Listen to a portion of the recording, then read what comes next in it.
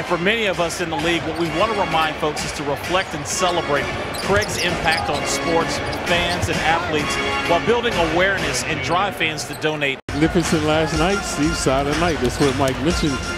Uh, consistency out of the young players, folks. Nice move. Hezonja got hit, still put it in. Well,